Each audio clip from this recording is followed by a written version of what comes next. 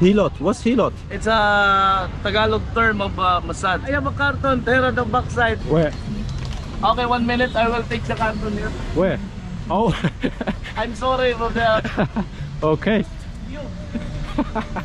this is so ridiculous. Alright, whoever said it's more fun in the Philippines, they were not lying. Alright, so I guess we got the stash of cartons, fresh, fresh cartons.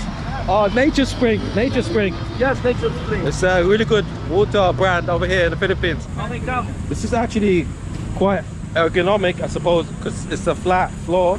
I suppose we just get naked in the street, huh? Okay. Oh, let me fold this nicely. This is my favorite jersey. Luckily, this doesn't have a Filipino flag, so it's okay to put on the floor. But we're putting it on the carpet. Actually, I'll use this as my Yes. pillow. How ridiculous is